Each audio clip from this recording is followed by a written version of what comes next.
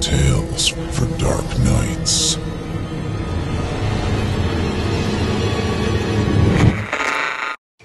The following performance is a first round entry in the 2018 Evil Idol voice acting competition, in which you, the listener, get to help decide who wins.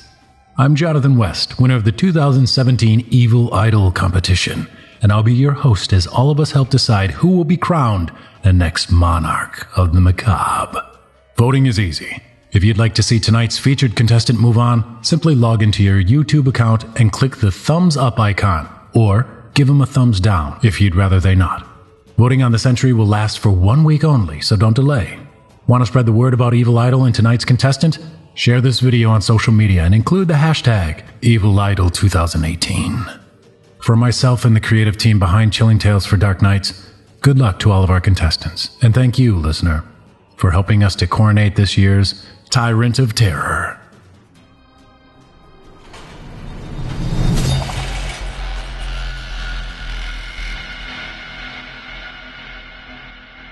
Please welcome to this year's competition contestant number 12, Seth Paul, performing a tale by author Adam Davies. Submitted for your approval, we present to you How Do You Prove You're Alive?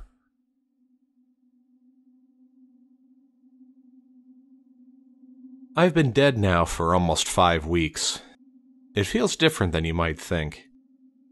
Of course, I'm not really dead. If I were, I wouldn't be able to write this account of what happened to me. But legally, at least, I have been declared dead. Once you're dead, it's surprisingly difficult to prove you are alive. The event that caused my death took place three months ago. I was due to catch the late flight from Williamson County Airport to St. Louis. Since leaving the Army, I've worked as an insurance claims investigator, and so my work takes me all over the U.S. I take upwards of 250 flights per year, so I end up in my fair share of tiny regional airports. Williamson is small, but not the smallest I've been through. I got to the airport at 1800 and plenty of time for the 2145 flight. I grabbed a sandwich at the restaurant, made some calls, and caught up on some admin. The airport was quiet, but there were enough people around to make what happened seem all the stranger. An announcement was made that my flight was delayed, a technical problem to blame. No stranger to delays, I just pulled out my Kindle and started on my latest book. I must have drifted off. Excuse me, sir. What? I was startled into alertness. A very heavily made up flight attendant stood over me, her overpowering perfume sweet, sticky, and cloying. I'm sorry to trouble you, sir, but we are about to board the St. Louis flight. Great, thanks. I looked around. Everyone else must have already got on the plane. The airport was deserted, lights off and shutters down. A ghost town. My watch told me it was 2353, a lot later than I expected. When I boarded the flight, it was empty. Completely empty. I've been on plenty of flights with just one or two other passengers before, but never a whole plane to myself. Ever officious, the flight attendant showed me to my seat despite the obvious fact I could sit anywhere and it wouldn't matter. I hurriedly stowed my jacket and laptop case in the overhead compartment. She went through the farce of her safety demo whilst I had my head down reading my book. Takeoff was smooth, but as we reached a certain altitude, I felt the familiar buildup of pressure in my ear and swallowed. Everyone knows the sensation of their ears popping. This was at once the same and yet completely different. Sir, you need to fasten your seatbelt. The words were clear, but the voice was insubstantial, a whisper. I turned around in the direction of the voice, expecting to see the flight attendant behind me. She wasn't there. I leaned into the aisle and I could see her at the front of the plane. I was only six rows back, so I guess I could have heard her voice from here. I was just so sure it came from behind me. I passed it off as some trick of the acoustics, my own heartbeat seeming to echo around the empty plane. But when I looked up, the seatbelt sign wasn't on. I shrugged and went back to my book. Cruising was uneventful. The background hum of the air conditioning combined with my own tiredness and the subtle cabin lighting giving a sleepy, dreamlike quality to the flight. As we began to descend, my ears popped again.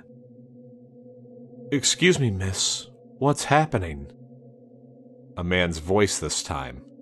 Again clear, but an ethereal whisper. The situation was beginning to feel very weird. I could see that there was no one else on the plane. It's nothing to worry about, sir. If you can just stay calm and keep your seatbelt on, it's just some turbulence. The plane had indeed begun to shake a little as the plane began its descent through the clouds. The voices gained substance. Others joined in. They were noisy now, and nervous. If everyone can please remain calm and seated, the flight attendant spoke loudly, trying to talk over the rising cacophony of panic questions.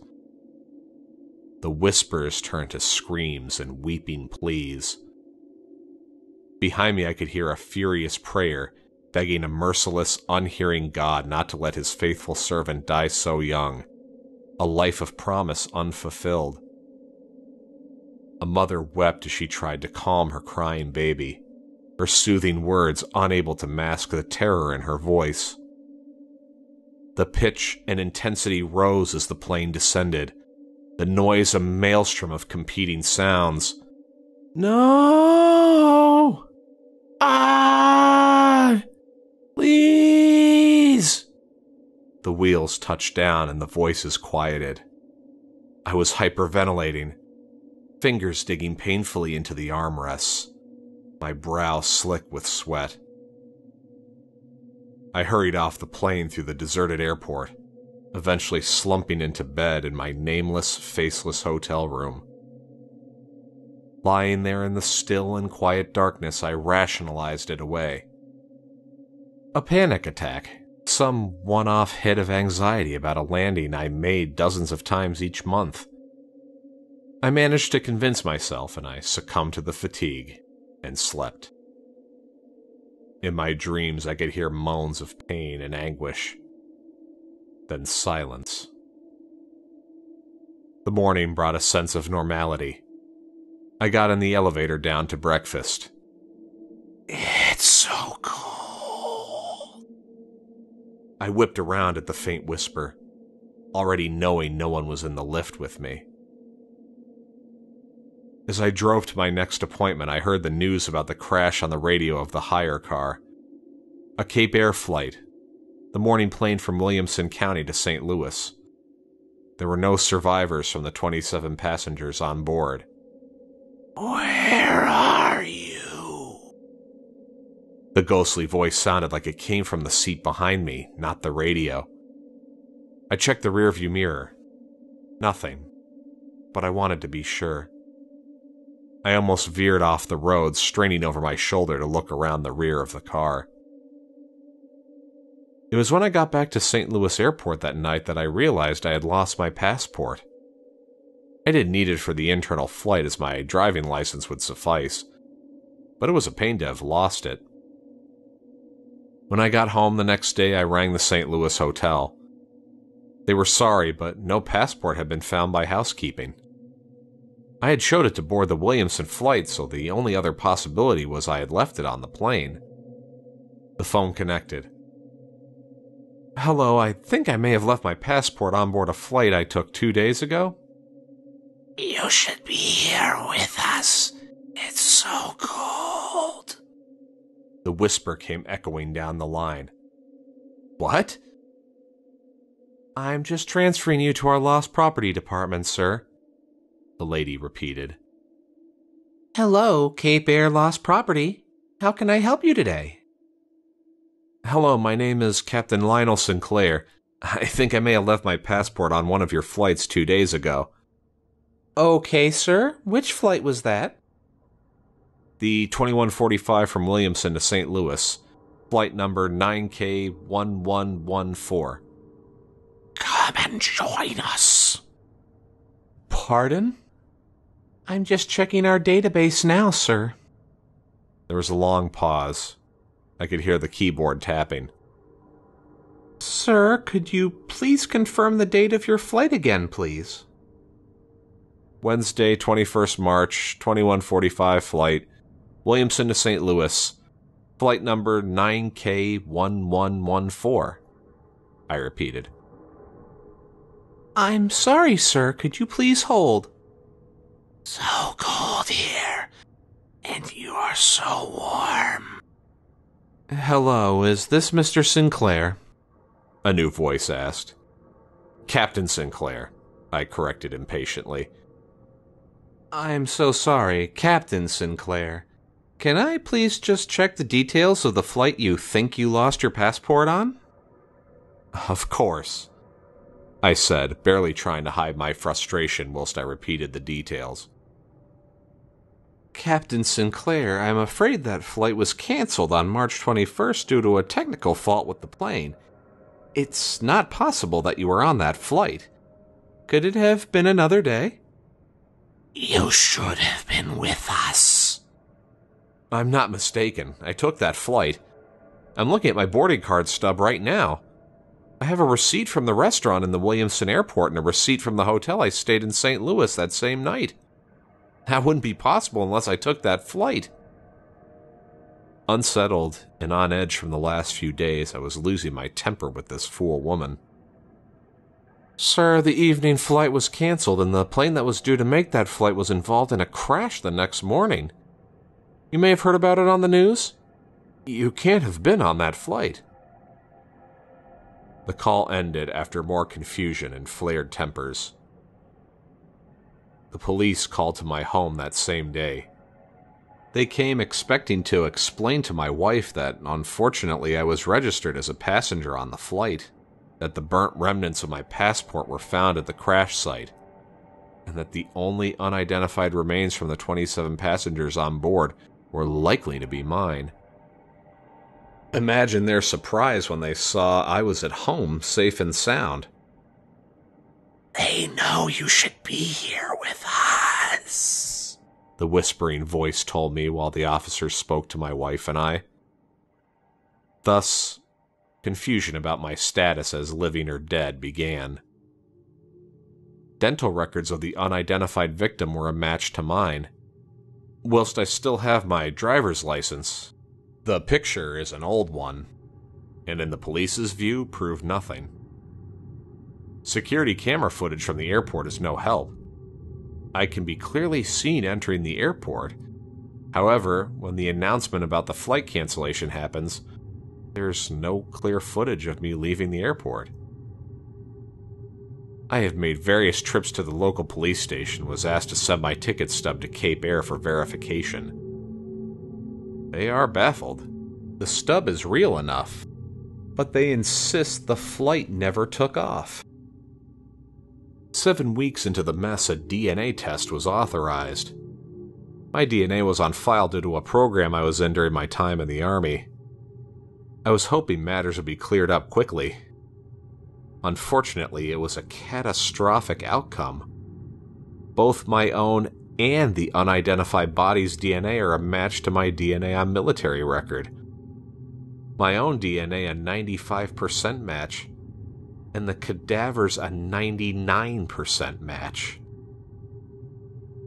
Because of this DNA evidence, on Tuesday, the 15th of May 2018, I was declared legally dead, and the police immediately opened an investigation into my true identity. The living me, that is. Since being declared dead, the voices have become clearer, more frequent. Their tone has changed. The living no longer want you. You are free to join us now. We will come for you soon. We want your warmth. It's so cold. I laugh a lot.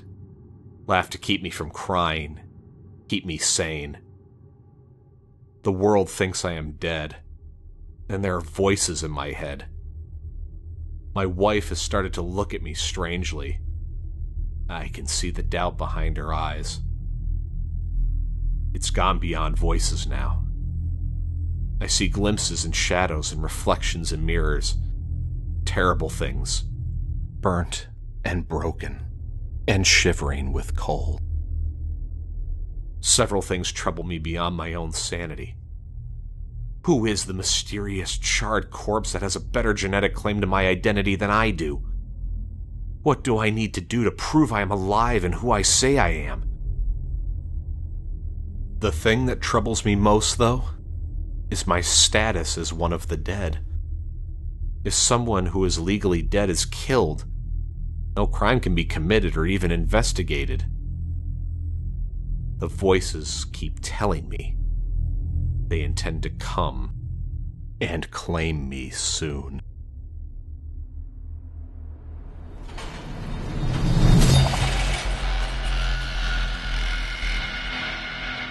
Thanks for listening. I'm Jonathan West, reminding you, if you haven't already, to cast your vote for this contestant via either a thumbs up or thumbs down. Voting is easy. Simply log into your YouTube account and click the thumbs up icon if you'd like to see the contestant move on. Or give them a thumbs down if you'd rather they not. Want to spread the word about Evil Idol and tonight's contestant? Don't forget to spread the word by sharing tonight's entry on social media and include the hashtag Evil Idol 2018. You've been listening to Chilling Tales for Dark Nights in the 2018 Evil Idol voice acting competition.